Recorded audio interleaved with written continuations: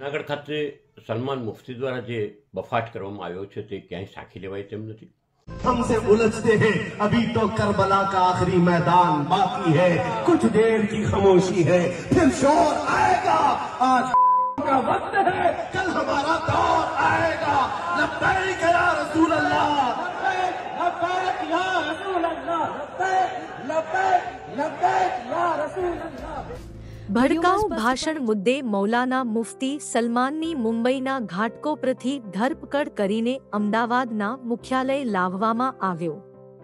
Junagadh police અહીં સાથે કાયદેસરની પ્રોસેસ કર્યા બાદ આરોપીનો કબજો લઈ જૂનાગઢ રવાના થશે. ગુજરાતની ટીમ મુંબઈથી મૌલાનાને લઈને અમદાવાદ પહોંચી છે.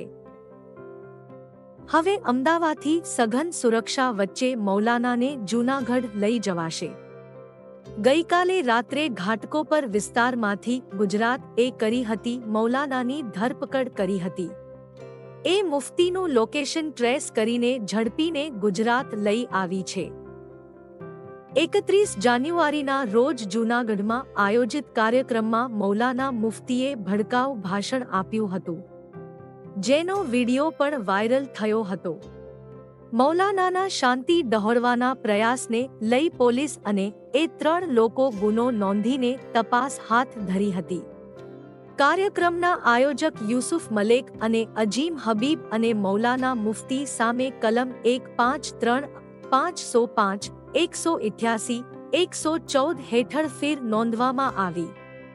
જે બાદ કાર્યક્રમના આયોજક યુસુફ મલેક અને અજીમ હબીબને ઝડપ્યા હતા.